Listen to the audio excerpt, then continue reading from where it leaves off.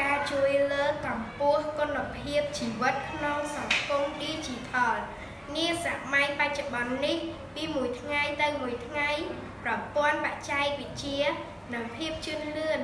នៃការរស់នៅរបស់មនុស្សក្នុងសកលលោកកាន់តែរីកចម្រើន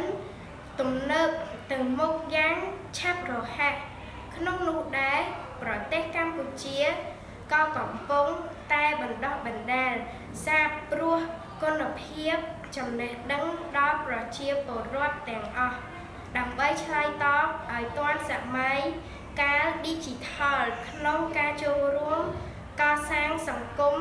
ឲ្យមានការរីកចម្រើន ការសិក្សា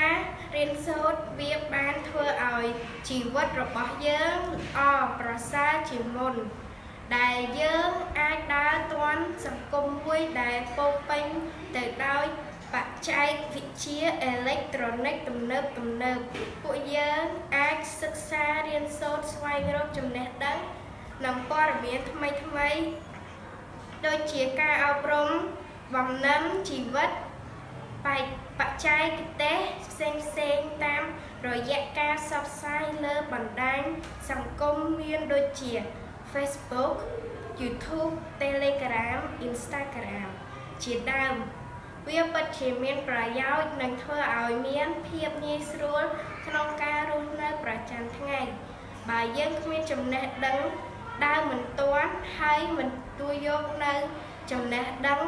ផ្នែកបច្ចេកវិទ្យានឹងទេ